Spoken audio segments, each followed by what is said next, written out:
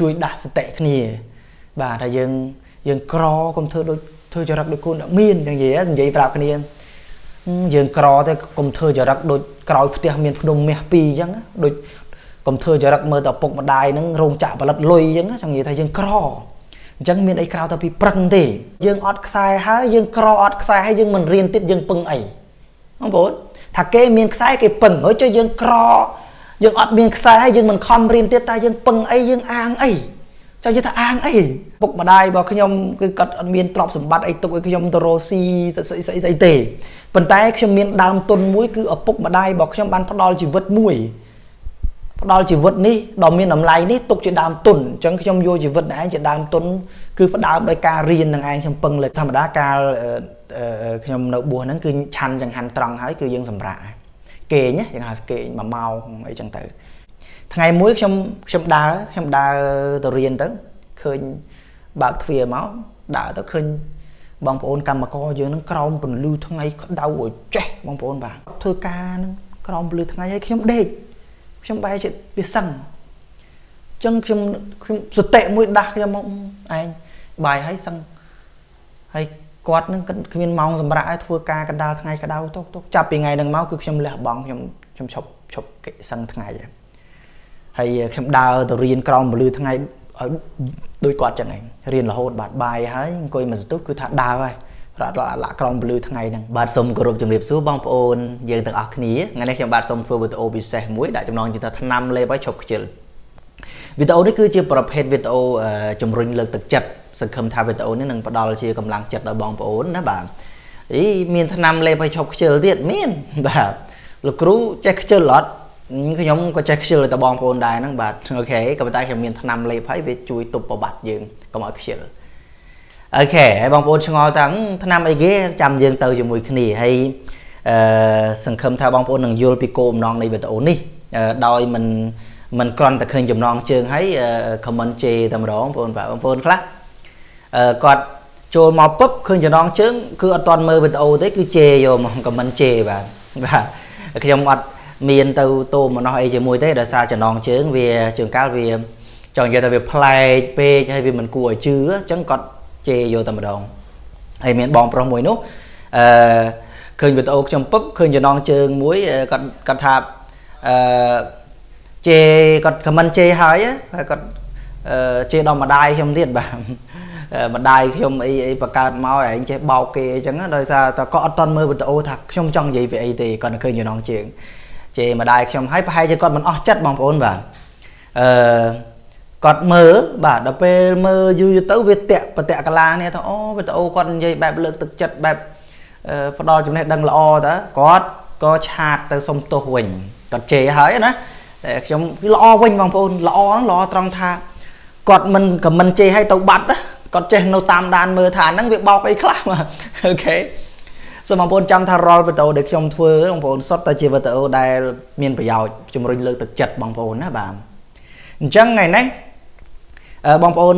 អាចចូលមកមើលបាន ថាតើឆ្នាំលេបឲ្យឈប់ខ្ជិលយ៉ាងម៉េចអូខេបាទតោះឥឡូវយើងមកមើលចំណុចមួយណាបងប្អូន តាមពិតឆ្នាំហ្នឹងគឺគ្មានអីទេក្រៅពីពាក្យថាសតិបងប្អូនបាទ សតិណាដែលភាសាអង់គ្លេសគេហៅថា mindfulness mindfulness សតិអញ្ចឹងអឺអានេះគឺខ្ញុំធ្វើនិយាយនេះយោងទៅតាមបទពិសោធន៍ខ្ញុំណាបងប្អូនចាំមើលខ្ញុំរៀបរាប់ជូនបងប្អូនថាហេតុអីសតិនេះគឺជាឆ្នាំដ៏សំខាន់នៅក្នុងការដាស់យើងកុំឲ្យខ្ជិលណាបងប្អូនបាទអានឹងវាចេញពីបទពិសោធន៍ខ្ញុំសតិសម្បជញ្ញៈនេះគឺជាចំណុចសំខាន់ណាមេរៀនសំខាន់ណាបងប្អូនបាទ អញ្ចឹងខ្ញុំសូមចូលសាច់រឿងតែម្ដងបាទចឹងដំបូងឡើយយើងសម្រាប់ខ្ញុំណាគឺយើងត្រូវមានសតិនឹកដល់រឿងលំបាកបងប្អូនបាទដែលយើងហៅថា think about your hardship បងប្អូនសាកសម័យមើលថាអឺបើយើងខ្ជិលទៅហៅបងប្អូនដែលមកពីស្រុកពីស្រែមកនៅទីក្រុងមករៀនអបងប្អូនដែលមកធ្វើការមកនៅទីក្រុងអីចឹងមករស់ស៊ីចឹងមកនៅពេលដែលយើងខ្ជិលណា បងប្អូន think about your hardship បងប្អូនសាកបិទភ្នែកសម័យមើលគិតពីរឿងលំបាកថាគ្រួសារយើងលំបាកប៉ុណ្ណាហើយបើបងប្អូនដែលមកពីស្រុកស្រែពីចំការមកនៅទីក្រុងដើម្បីរៀនណាណាដែលគោលបំណងយើងដើម្បីរៀនណាតើយើងគួរខ្ជិលទេយើងគួរធ្វេសប្រហែសទេហើយគ្រួសាររបស់យើងនឹងយ៉ាងម៉េចតើយើងគួរបន្តខ្ជិលបដែតបដោយទៀតដែរឬអត់ចឹងអាហ្នឹងគឺវាចេញពីបទពិសោធន៍ខ្ញុំ ចឹងយើងគិតអំពីភាពលំបាកដូចជាថាអានេះជាលក្ខណៈ academic hardship កាលថាភាពលំបាកផ្នែកសេដ្ឋកិច្ចអឺបងប្អូនដែលកំពុងតែស្ដាប់នេះសាកគិតមើលថាតើចំណូលរបស់យើង បានប៉ុណ្ណាមានប៉ុណ្ណាណាបងប្អូនណាហើយធ្វើអីខ្លះតើយើងគួរខ្ជិលដែរទេយើងគិតមើលពីភាពលំបាកយើងសិនគ្រួសារយើងពិបាកដែរអត់អីអត់ណាបាទ ចឹងគិតគិតរអស់បងប្អូនបាទអូខេគិតគិតគិតអស់ថាលំបាកហ្នឹងវាយ៉ាងម៉េចបាទមកមួយចំណុចទៀតបងប្អូនបាទគឺអឺគេហៅថានឹកដល់ពុកម៉ែយើង think about your parents អានេះគឺជាចំណុចរបស់ខ្ញុំគឺខ្ញុំដូចជម្រាបជូនបងប្អូនចឹងថាខ្ញុំក៏ក៏ខ្ជិលដែរមិនមែនណាកាត់មកល្អឯងឬល្អឥតខ្ចោះទេប៉ុន្តែ ពេលដែលខ្ញុំហត់នឿយឬក៏ខ្ជិលអីខ្ញុំនឹកដល់ម្ដាយខ្ញុំអឺមុនគេខ្ញុំពេលខ្លះអស់កម្លាំងហត់នឿយបងប្អូនបាទការរៀនការប្រឹងប្រែងហ្នឹងគឺថាតែខ្ញុំនឹកដល់ភាពលំបាកនឹកដល់ម្ដាយខ្ញុំកាលពីខ្ញុំដឹងក្តីមកឃើញគាត់ពិបាកពិបាករមហូបឆ្ងាញ់មកពេលឲ្យឲ្យស្គាល់រសជាតិមហូបឆ្ងាញ់បកងអីក៏អត់ណា មកជីវិតរបស់គាត់មិនដែរចេះស្គាល់គេងបន្ទប់ម៉ាស៊ីនត្រជាក់មិនទេខ្ញុំនឹងគាត់ហ្នឹងគឺដេកតែក្រោមដើមឈើហ្នឹងឯងទៅស៊ីឈ្នួលគេអីអីអីអីពីកន្លែងមួយទៅកន្លែងមួយហ្នឹងគឺសុំផ្ទះគេដេកផងពេលខ្លះម្ចាស់ផ្ទះគេឆ្លោះគ្នាប្តីប្រពន្ធនោះគេដេញយើងទាំងយប់ចេញមកទៅដេកក្នុងជង្រុកក្រោមដើមឈើដេកក្នុងជង្រុកអង្ការគេចោលមកភ្លៀងមកប្រសិទ្ធប្រសាយនោះគឺវេទនាបងប្អូនបាទនិយាយទៅអញ្ចឹងខ្ញុំនឹកដល់ ដល់ម្ដាយបងប្អូនបាទបងប្អូនក៏ដូចគ្នាដែរជាពិសេសបងប្អូន ដែលកំពុងតែពេញកម្លាំងណាដែលកំពុងតែពេញដោយកម្លាំងធម្មពលនោះមិនគួរខ្ជិលទេបើបានជាខ្ជិលហើយយើងដឹងខ្លួនថាខ្ជិលមានសតិគិតឡើងវិញគឺគឺកំពុងតែពេញកម្លាំងកុំខ្ជិលឲ្យសោះណាព្យាយាមតស៊ូឡើងអូខេអឺចឹងខ្ញុំគិតដល់ភាពលំបាករបស់គាត់គាត់មិនដែលស្គាល់រសជាតិស្រួលមិនទេនឹងពេលណាដែលខ្ញុំខ្ជិលខ្ញុំគិតថា ម្ដាយខ្ញុំពិបាកច្រើនណាស់ហើយខ្ញុំខ្ជិលធ្វើអីបាទអឺភាពលំបាករបស់ខ្ញុំបានមកចំណិតទូចនៃម្ដាយរបស់ខ្ញុំទេបងប្អូនអាចសាកសម័យមើលថាឧទាហរណ៍ថាបងប្អូនជាពិសេសមកនៅនឹងទីក្រុងម្ដាយឪពុកបញ្ជូនមករៀនឬក៏បងប្អូនមកធ្វើការមកពេលយើងភ្លើតភ្លើនពេលយើងខ្ជិលពេលអីយើងសាក់បិទភ្នែកសម័យមើលថាអឺឪពុកម្ដាយយើងនៅនៅស្រុកស្រែនៅចាំមើលយើងភ្នែកកឡង់កឡង់ភ្នែកខ្មៅខ្មៅ 4គូដែលចាំមើលយើងហ្នឹងគាត់សង្ឃឹមប៉ុណ្ណាអញ្ចឹងយើងគួរខ្ជិលគួរធ្វើប្រហែសទេដែលមកនៅទីក្រុងនេះបងប្អូនបាទគឺគឺមិនគួរឡើយបងប្អូនបាទគឺឪពុកម្ដាយយើងគឺកំពុងរងចាំជាពិសេសឧទាហរណ៍ថាបងប្អូនដែលមករៀនដែលដែលឪពុកម្ដាយធ្វើស្រែធ្វើចំការហ្នឹងបញ្ជូនយើងមករៀនណាអញ្ចឹងគាត់ពិបាកណាស់ទៅរំថាបានកូនមកមកមានឈ្មោះថានិស្សិតឬក៏សិស្សដែលមកនៅនឹងទីក្រុងអញ្ចឹង បងប្អូនដឹងខ្លួនឯងថាគាត់ពិបាកប៉ុណ្ណាដូច្នេះហើយយើងគិតដល់ភាពលំបាករបស់ឪពុកម្ដាយហើយគឺត្រូវត្រឡប់មកវិញគឺគឺมันអាចខ្ជិលបានទេជាពិសេសជីវភាពយើងនៅអត់ណាបងប្អូនបាទគឺត្រូវតែតស៊ូត្រូវតែលះបង់ឡើងបើថាខ្ជិលត្រឡប់មកវិញស៊ូឡើងវិញណាបងប្អូនបាទអញ្ចឹងគិតគិតឡើងវិញបងប្អូនណាគឺសម្រាប់ខ្ញុំខ្ញុំនឹកនឹកដល់ភាពលំបាកនៃម្ដាយខ្ញុំចឹងឲ្យតែខ្ញុំខ្ជិលខ្ញុំអស់កម្លាំងខ្ញុំហត់នឿយនឹកដល់គាត់ហើយជាពិសេសចំណុចមួយដែល ដែលខ្ញុំនឹកពីភាពលំបាកគាត់ខ្លាំងពេលណាខ្ញុំអឺយ៉ាអឺប្រឹងលើសដើមបាទខ្ញុំប្រឹងលើសដើមអឺនៅថ្ងៃមួយនោះអឺជំនាយើងក៏អត់មានអីណាឃើញជ្រូកគេជ្រូកគេងាប់បាទ ជ្រូកគេងាប់ទឹកគេយកទៅកប់ណាហើយម្ដាយខ្ញុំគិតថាយើងវាមិនដែលបានហូបឆ្ងាញ់ទេគេចោលកប់ចោលហើយយើងក៏ម្ដាយខ្ញុំទៅកាយយកជ្រូកនឹងមកធ្វើមកហូបឆ្ងាញ់ណាបងប្អូនបាទតែដល់ពេលម្ចាស់គេដឹងហ្នឹងគេជេរម្ដាយខ្ញុំស្អីស្អីទៅទៅអានឹងធ្វើម៉េចអានឹងកំហុសរបស់យើងកំហុសរបស់យើងក៏ប៉ុន្តែអានេះគឺចំណុចមួយដែលដែលខ្ញុំគិតថាអឺគាត់ពិបាកច្រើនណាអញ្ចឹងខ្ញុំមិនអាចខ្ជិលបានទេគឺខ្ញុំទៅតស៊ូបាទតែបើខ្ញុំមានគ្រួសារមិនឲ្យគ្រួសារពិបាក ណាមិនឲ្យកូនពិបាកអញ្ចឹងណាហើយមួយទៀតខ្ញុំចាំបានថាអឺអឺចាំពិតបងប្អូនមនុស្សយើងមានរឿងលំបាករៀងៗខ្លួនណាបងប្អូនបាទខ្ញុំគាត់ចង់លើកនេះមកគឺដើម្បីជំរុញលើកទឹកចិត្តបងប្អូនថាត្រូវស៊ូឡើងណាមុននឹងយើងខ្ជិលមុននឹងយើងបោះបង់នៅការព្យាយាមនឹកដល់ណាណាដែលមនុស្សជាទីស្រឡាញ់ដែលគាត់ពិបាកអញ្ចឹងយើងពិបាកមិនដល់គាត់ទេជាពិសេសពុកម្ដាយយើងដូច ខ្ញុំម្ដាយខ្ញុំនិងម្ដាយខ្ញុំត្រូវធ្វើបំរើអ្នកបំរើគេកន្លះឆ្នាំដោយសារតែខ្ញុំឈឺសម័យទៅស៊ីឈ្នួលគេមកគ្រុនចាញ់អញ្ចឹងយើងអត់មានលុយទៅអឺទៅព្យាបាលជំងឺយើងទៅពេទ្យនៅខាងប៉ោយប៉ែតព្យាបាលខ្ញុំជាទៅយើងអត់មានលុយអញ្ចឹងត្រូវបំរើគេកន្លះឆ្នាំម្ដាយខ្ញុំហ្នឹងគឺជាទៅដើរបំរើគេរហូតដល់ថ្ងៃស្លាប់ណាបងប្អូនបាទហើយរហូតដល់ដង្ហើមចុងក្រោយរបស់គាត់ហ្នឹងគឺ ពេលគាត់ខូចហ្នឹងក៏គ្មានបានធ្វើបន់នេះត្រឹមត្រូវដែរបាទអត់អឺអ្នកស្រុកក៏រត់ឲ្យក្តារមកវាយវាយធ្វើក្តារមកឈូទៅក៏បូជាគាត់ទៅបងប្អូនអត់មានបានបន់អីឲ្យវាកថឹកអីទេនឹងម្ដាយខ្ញុំនឹងពិបាកណាស់អញ្ចឹងពេលដែលខ្ញុំគិតដល់ភាពលំបាកចេះហើយខ្ញុំតស៊ូព្យាយាមអញ្ចឹងហើយសូមឲ្យបងប្អូនជាពិសេសអ្នកសិក្សាគឺថាគិតដល់ភាពលំបាកឪពុកម្ដាយមុននឹងយើងខ្ជិលមុននឹងយើងធ្វេសប្រហែសមុននឹងយើងប្រមាទណាបាទអូខេអឺ ចំណុចមួយទៀតបាទបងប្អូន គឺយើងត្រូវគេហៅថាសិក្សាពីមនុស្សជំវិញជំវិញខ្លួនណាណាគេថា learn about people around you ចំណុចមួយនេះក៏វាសិតតែជាសតិទេបងប្អូនបានន័យថាយើងត្រូវសិក្សាថាមនុស្សជុំវិញខ្លួននឹងយ៉ាងម៉េចយើងរៀនពីគេរៀនពីកំហុសរបស់គេរៀនពីចំណុចខ្សោយចំណុចមួយនេះខ្ញុំដាក់រូបនេះដោយសារអញ្ចេះបងប្អូនថ្ងៃមួយខ្ញុំខ្ញុំជាធម្មតាកាល ខ្ញុំនៅបួសហ្នឹងគឺឆាន់ចង្ហាន់ត្រង់ហើយគឺយើងសម្រាកគេងយើងហៅគេង1ម៉ោងអីចឹងទៅហើយក្រោយឡើងបានទៅរៀនថ្ងៃមួយខ្ញុំខ្ញុំដើរខ្ញុំដើរទៅរៀនទៅឃើញបើកទ្វារមកដើរទៅឃើញបងប្អូនកម្មករយើងនឹងក្រោមពន្លឺថ្ងៃក្តៅឲ្យចេះបងប្អូនបាទក្រោមពន្លឺថ្ងៃក្តៅឲ្យចេះគាត់ធ្វើការនឹងក្រោមពន្លឺថ្ងៃឲ្យខ្ញុំដេកខ្ញុំបែរជាវាសឹងអញ្ចឹងខ្ញុំខ្ញុំសតិមួយដាស់ខ្ញុំមកឯងបាយឲ្យសឹង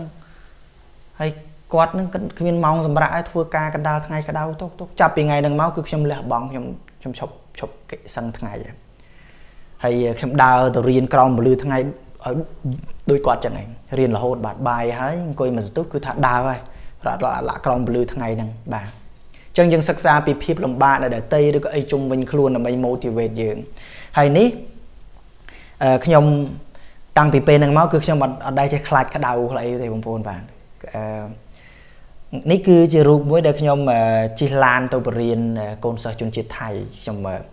ប្រហែលពីបាត់ដំបងទៅពោធិ៍សាត់បើនិយាយពីចម្ងាយជិះឡានទៅបរៀន2ម៉ោងដើម្បីសន្សំលុយរៀនអនុអនុបណ្ឌិតកាលហ្នឹងយ៉ាអញ្ចឹងបងប្អូនគឺត្រូវសិក្សាពីមនុស្សជុំវិញខ្លួនណាបងប្អូនដើម្បីកុំឲ្យខ្ជិលបងប្អូនបាទពេលខ្លះខ្ញុំ ជិះម៉ូតូជិះមើលទៅឃើញបងប្អូនកម្មករណាណាលំបាកបងប្អូនបាទ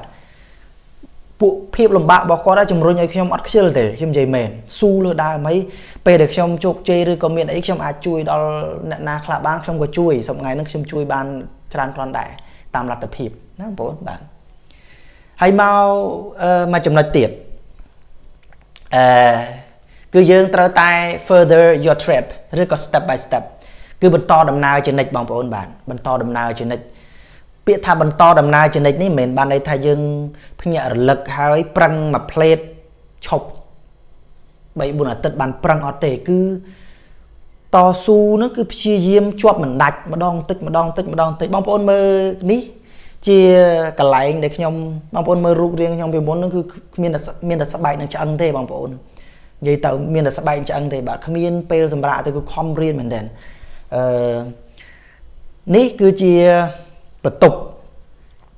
បន្ទប់ខ្ញុំគេងនៅខ្ញុំសឹងនៅប្រទេសភូមាហ្នឹងកាលហ្នឹងខ្ញុំរៀនឆ្លៀតរៀនបញ្ញាបត្រខ្ញុំរៀនចិនបន្ថែមនេះមុនដំបូងបន្ទប់ហ្នឹងសអញ្ចឹងខ្ញុំមួយថ្ងៃខ្ញុំសេ4 5ពាក្យទេភាសាចិនណាខ្ញុំរៀនទៅខ្ញុំសរសេរ4 5 3ពាក្យ2ពាក្យបិទនឹងហ្នឹងទៅរហូតដល់3ឆ្នាំចប់បញ្ញាបត្រ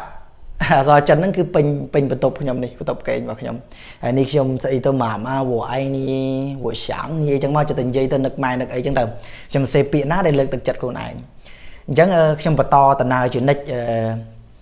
ពេលហ្នឹងខ្ញុំឆ្លៀតរៀនអង់គ្លេសផងរៀនរៀនចិនជាមួយថៃកាលហ្នឹងរៀនចិននិងភាសាថៃ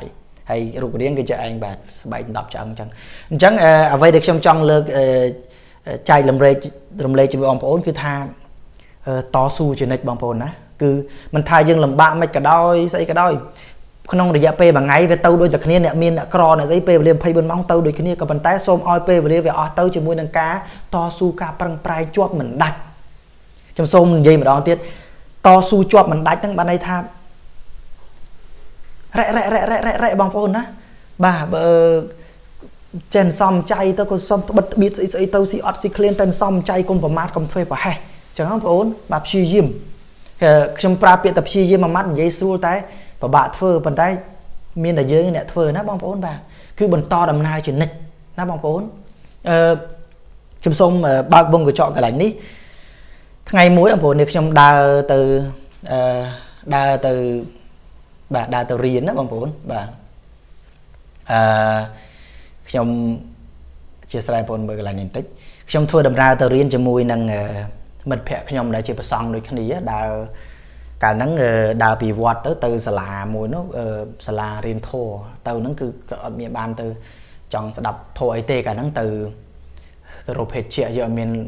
លុយទិញចឹងឆាតភេទជាឆាន់ទៅទៅហ្នឹងគេមានប្រកេនភេទជាចឹងគឺដើរទៅដើរក្រោមពលឺថ្ងៃហ្នឹងមកគឺភាសាគ្នានៅគេអញ្ចឹងយើងអ្នកបួសទូនាទីរបស់យើងគឺរៀនមែនទេណោះហើយ យើងពឹងអីនិយាយថាខ្លួនយើងអ្នកក្រអ្នកស្រែអ្នកចកាឬក៏គ្មានខ្សែគ្មានអាណាយទីពឹងដែលយើងថាអាចឲ្យគេដាក់ដាក់ការងារឲ្យអីឲ្យបានទេយើងពឹងអីជំនះពឹងការប្រឹងប្រែងព្យាយាមរៀននឹងហើយបើមានឱកាសរៀនហើយនោះគឺគឺខំរៀនទៅដើរបដើនិយាយបដើអញ្ចឹងណាបាទជាជួយដាស់សតិគ្នា បាទថាយើងយើងក្រកុំធ្វើដូចធ្វើចរិតដូចគូនមានយ៉ាងនិយាយនិយាយប្រាប់គ្នា យើងក្រទេកុំធ្វើចរិតដូចក្រោយផ្ទះមានភ្នំមាសពីរអញ្ចឹងដូចកុំធ្វើចរិតមើលតែឪពុកម្ដាយហ្នឹងរោងចក្រផលិតលុយអញ្ចឹងចង់និយាយថាយើងក្រអញ្ចឹងមានអីក្រៅទៅពីប្រឹងទេអញ្ចឹងខ្ញុំប្រឹងបងប្អូនប្រឹងណាស់និយាយពាក្យតែប្រឹងមួយម៉ាត់ហ្នឹងគឺបងប្អូនគិតដែរអឺអញ្ចឹងទៅបានចេះតែនិយាយលើកទឹកចិត្តដល់បងប្អូនកូនសិស្សថា យើងអត់មានខ្សែអត់មានខ្សែអត់មានអីខ្ញុំធ្លាប់គិតថារៀនអីទេរៀន អត់មានខ្សែអត់មានអីផងហើយរៀនចប់ទៅវាគ្មានស្អីប្រហែលណារៀនធ្លាប់គិតទេបងប្អូនក៏ប៉ុន្តែនឹកឃើញថាបើយើងអត់ខ្សែហើយយើងក្រអត់ខ្សែហើយយើងមិនរៀនទៀតយើងពឹងអីបងប្អូនថាគេមានខ្សែគេពឹងហើយចុះយើងក្រយើងអត់មានខ្សែហើយយើងមិនខំរៀនទៀតតើយើងពឹងអីយើងអាងអីចង់និយាយថាអាងអីអញ្ចឹងមានតែយកជីវិតដែលម្ដាយឪពុកឲ្យនឹងជាដើមទុនអឺ ពុកម្ដាយរបស់ខ្ញុំគឺគាត់អត់មានទ្រព្យសម្បត្តិអីទុកឲ្យខ្ញុំទៅរស់ស៊ីទៅស្អីស្អីស្អីទេប៉ុន្តែខ្ញុំមានដើមទុនមួយគឺឪពុកម្ដាយរបស់ខ្ញុំបានផ្ដល់ជីវិតមួយផ្ដល់ជីវិតនេះដ៏មានតម្លៃនេះទុកជាដើមទុនអញ្ចឹងខ្ញុំយកជីវិតឯងជាដើមទុនគឺផ្ដើមដោយការរៀននឹងឯងខ្ញុំពឹងលើការរៀននឹងហើយគឺរៀនរហូតដល់សប្តាហ៍ក៏នៅតែរៀនដែរបាទបន្តដំណើរការរៀនទាំងចំណេះដឹងទូទៅទាំងរៀនចំណេះដឹងផ្នែកជីវិតណាបងប្អូនណាបាទអញ្ចឹងក៏បន្តដំណើររហូត បាទមកតិចដងតិចដងបាទមកដល់ចំណុចមួយទៀតដែលខ្ញុំសូមឲ្យបងប្អូនអឺនេះគឺជាសំណួរដែលខ្ញុំតែងតែសួរខ្លួនឯងហើយបងប្អូនក៏អាចសាកសួរខ្លួនឯងជាមួយខ្ញុំណា ask yourself សួរខ្លួនឯងមើលថាវាយ៉ាងម៉េចសំណួរនេះក៏ល្អដែរបាទតោះឥឡូវយើងសាកសួរខ្លួនឯងមួយបងប្អូនបាទអូខេ ទី1តើខ្ញុំជានរណា who am I ពាក្យថាខ្ញុំជានរណា who am I ហ្នឹងបានន័យថាសប្ងៃហ្នឹងយើងយ៉ាងម៉េចហើយ ពាក្យតែពាក្យហ្នឹងថាយើងយ៉ាងម៉េចហើយជីវិតយើងអា who am I ហ្នឹងជាប្រសង់ជាកុហកអ្នកមានអ្នកក្រតើយើងជាមនុស្សប្រភេទបែបម៉េចយើងយ៉ាងម៉េចហើយបើយើងជាសិស្សអូខេដឹងតែខ្លួនឯងជាសិស្សណាបងប្អូនបាទអ្នកធ្វើការឲ្យជីវភាពកម្រិត level ប៉ុណ្ណាយើងដឹងខ្លួនឯងស៊ូខ្លួនឯងច្បាស់កុំកុហកខ្លួនឯង កុំបន្លំបន្លំណាបងប្អូនមានណាគេដឹងទេមានយើងឯងស៊ូខ្លួនឯងច្បាស់ណាទី2 what am i doing តើខ្ញុំកំពុងធ្វើអីឲ្យប្រកបសប្ងៃហ្នឹងណាស៊ូខ្លួនឯង what am i doing តើខ្ញុំកំពុងធ្វើអីឲ្យប្រកបបើស៊ូខ្លួនឯងច្បាស់ចង្កាលយើងវាចិត្តតែបដោយពេលមួយថ្ងៃទៅមួយថ្ងៃមួយថ្ងៃកំពុងធ្វើអីប្រកាសនឹងពីមួយថ្ងៃទៅមួយថ្ងៃហ្នឹងកំពុងធ្វើអីកំពុងគិតអីណាបងប្អូន what am i doing បាទ មកសំណួរមួយទៀតបងប្អូន គឺត្រូវសួរថាតើខ្ញុំកំពុងតែខ្ជិះខ្ជីពេលវេលាទេបាទ am i wasting my time am i wasting my time អញ្ចឹងរាល់ថ្ងៃនេះតើតើតើខ្ញុំមានខ្ជិះខ្ជីពេលវេលាទេមានបដោយពេលឲ្យខាតទៅអត់ប្រយោជន៍ទេចឹងអីចឹងបងប្អូនចឹងគឺចម្លើយបងប្អូនចេញមកខ្លួនឯងទេនេះគាត់តែជាសំណួរដែលគឺជាកលឹះដាស់យើងដឹង ទី4តើអ្វីជាចំណុចខ្សោយរបស់ខ្ញុំ what are my weak points តើយើងមានចំណុចខ្សោយអីខ្លះបងប្អូនបាទអង្គុយគិតពិចារណាមកកត់មកឲ្យអស់ចំណុចខ្សោយយើងអីគេមនុស្សយើងភាគច្រើនមើលចំណុចខ្សោយកំហុសខ្លួនឯងមិនសូវឃើញទេអញ្ចឹងមានអង្គុយគិតគិតកត់មកខ្សោយខាងអីអីចឹងមកបងប្អូនណាបាទ okay so what are my weak points បាទពេលដែលយើងរកចំណុចខ្សោយឃើញហើយយើងបានន័យថាយើងជាមនុស្សអស្ចារ្យ ណាស់តារោចំណុចខ្សោយណែមិនឃើញហ្នឹងព្រោះនេះទៅបដ ாய் ពេលខ្លាំងរហូតអស្ចារ្យរហូតបាទមកមួយទៀតតើខ្ញុំចេះទទួលកំហុសពេលដែលខ្ញុំធ្វើខុសដែរអត់ Do I really admit admit នឹងសារភាព Do I really admit when I'm wrong តើខ្ញុំមានទទួលស្គាល់ថាខ្លួនឯងខុសហើយបងប្អូនបាទពេលខ្លះខ្លួនឯងខុសហើយហ្នឹងរកលេសរកហេតុផលគ្រប់គ្រងកុំមកខ្លួនឯងទៀតបងប្អូនអូខេអញ្ចឹង មនុស្សដែលធ្វើខុសហើយទទួលកំហុសមិនមែនជាមនុស្សអន់ទេជាមនុស្សក្លាហានណាបងប្អូនបាទទី6តើខ្ញុំមានឆន្ទៈសុំការណែនាំពីគេអឺអានេះបងប្អូនខ្ញុំសូមអធិស្ឋានណាណែនាំបងប្អូនបាទខ្ញុំសរសេរខុសហើយ spelling ខ្ញុំនេះបាទអូខេជួយកែផងណាណែនាំមិនមែនណាំនាំទេអូខេ am i willing to ask for directions ចឹងចំណុចទី4នេះថា willing នេះមានឆន្ទៈចង់តើខ្ញុំមានឆន្ទៈចង់ ask for direction មិនថាសុំពាក្យណែនាំពីគេបើន័យថាពេលខ្លះយើងសួរគេឬក៏សុំយោបល់សុំការណែនាំពីគេខ្លាចថាអន់ខ្លាចតែយើងវាអន់តាមពិតទៅអ្នកខ្លាំងអ្នកបកែគឺជាអ្នកដែលចូលចិត្តសួរយោបល់គេមកត្រេះរិះពិចារណាបងប្អូនបាទសិក្សាពីគេកាលតែមនុស្សបើកចិត្តទទួលគំនិតមកអាណាល្អក៏យកអាណាមិនល្អក៏មានបញ្ហាយើងមិនខាតអីទេអញ្ចឹងការចេះសួរគេមិនមែនជារឿងអន់ទេបាទ អ្នកដែលអន់គឺមិនចេះសួរគេខ្លាំងរហូតចេះតែឯងរហូតអញ្ចឹងបងប្អូនបាទអូខេមកចំណុចមួយទៀតតើខ្ញុំបានរៀនអ្វីថ្មីទេថ្ងៃនេះអានេះគឺជាចំណុចមួយដែលខ្ញុំតែងសួរខ្លួនឯងអឺពីមួយថ្ងៃទៅមួយថ្ងៃខ្ញុំគិតថាតាំងពីព្រលឹមរហូតដល់ប្រលប់ហ្នឹង have I learned something new តើខ្ញុំមានរៀនចំណេះដឹងអីដែលថ្មីឬអត់បាទសំខាន់ណាស់ចំណេះដឹងថ្មីបងប្អូនបាទមានរៀនរៀនអ្វីដែលថ្មីហ្នឹងមិនមែនបានន័យថារៀនភាសាទេបងប្អូនកុំច្រឡំ ជួយកើតយើងឃើញរឿងអីមួយយើងពិចារណាអូអានេះណោះបាទឧទាហរណ៍ថាអានេះគឺមានកំហុសអីមួយអូអានេះខុសចំណុចនេះមិនល្អទេយើងមិនគួរធ្វើអីហ្នឹងសិនតែចំណេះដឹងថ្មីបងប្អូនបាទឬក៏ចំណេះដឹងសុខភាពអីស្រែបងប្អូនទេណាបាទមួយទៀតតើខ្ញុំមានអូខេនេះហើយហើយបងប្អូនបាទអូខេ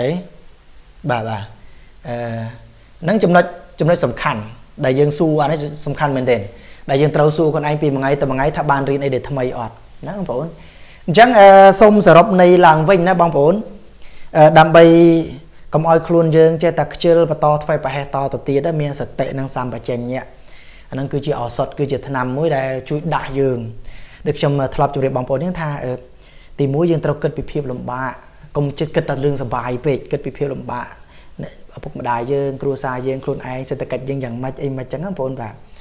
ហើយបន្ទាប់មកមានតែយើងតស៊ូជាប់មិនដាច់ព្យាយាមម្ដងតិចម្ដងតិចម្ដងតិចតែកុំបោះបង់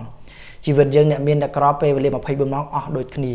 តែសូមឲ្យពេលវេលានោះវាអស់ទៅដោយការព្យាយាមការតស៊ូណាបាទអញ្ចឹងខ្ញុំសូមមានវីដេអូប៉ុណ្ណេះហើយអរគុណច្រើនបងប្អូននិងជូនពរបងប្អូនសុខសប្បាយអូខេជួបគ្នានៅឱកាសក្រោយទៀតបាទសូមអរគុណសូមជម្រាបលាបាយបាយ